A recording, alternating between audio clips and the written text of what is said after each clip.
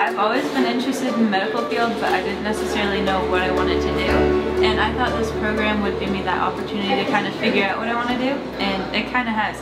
I've always loved math and science, and I signed up for this class to kind of narrow down my interests and see what exactly in the medical field I would want to do in my future. I think it just was really a, a creative opportunity for high school students to see like what they want to do, see if they want to do it, and see how to do it.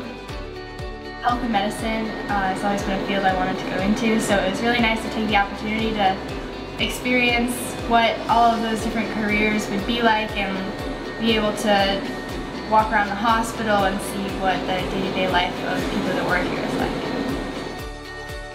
Aside from listening to all the lectures, which are really interesting, um, going into the labs and um, doing things hands-on. I'm a hands-on learner, so it helped when I um, took the lens and looked into the ear in the sim lab to holding the um, organs in the gross anatomy lab.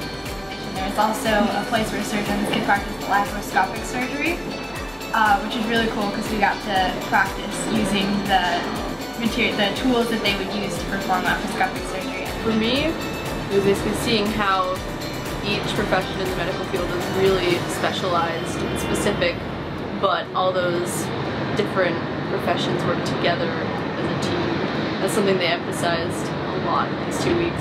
Other, We got to know each other like not just as our peers and our like fellow academicians, but as people who like share interests with us. And it's just a really great, and it's great to promote such a, a cohesive environment. And UVM's doing a good job at it, so.